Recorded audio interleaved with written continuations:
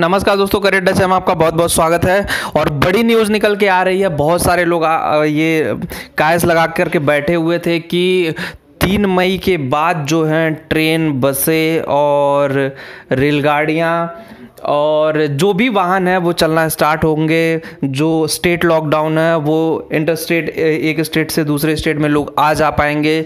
लेकिन इस पे अभी गवर्नमेंट ने चुप्पी तोड़ दी है कि तीन मई के बाद भी गाड़ियाँ और ट्रेनें, हवाई जहाज़ चलना स्टार्ट नहीं होंगे।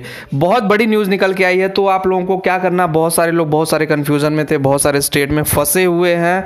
तो मैं बस उन लोगों से कह, यही कहूँगा कि आप लोग धैर्य बनाए रखें और क्योंकि ये घड़ी बड़ी मुश्किल है कोरोना काल में, जिसमें ट्रेन के लिए सबसे ज़्यादा लोग उत्सुक थे क्योंकि ट्रेनें जो हैं, लंबी डिस्टेंस लाने में मज़दूर वर्ग हो गया या फिर मिडिल परिवार हो गया, या फिर कोई भी बंदा हो गया ट्रेन से जल्दी आ जाता है। इसलिए लोग ये उम्मीद लगाए बैठे थे कि भैया ट्रेन तो चलेगी चलेगी, लेकिन अब तीन मई के बाद भी ट्रेन चलना मुश्किल लग रहा है।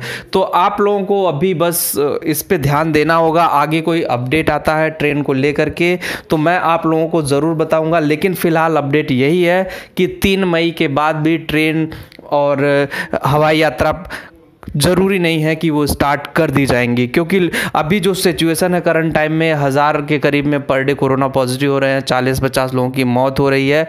तो ऐसे हालात में ट्रेन ऑन द स्पॉट चलना मुश्किल ही है। क्योंकि अब ये सिचुएशन इस तरह से जनरेट हो गई है ना तो उसमें आपको कॉम्प्रोमाइज़ करना पड़ेगा और देश के साथ खड़ा रहना पड़ेगा। फालतू की अफवाहों पे ध्यान मत दे। मैंने दिल्ली, मुंबई बहुत जगहों पे, बहुत ज़्यादा शहरों में ये अफवाह फैलती है कि ट्रेन चलने वाली है, गाड़ी चलने वाली है।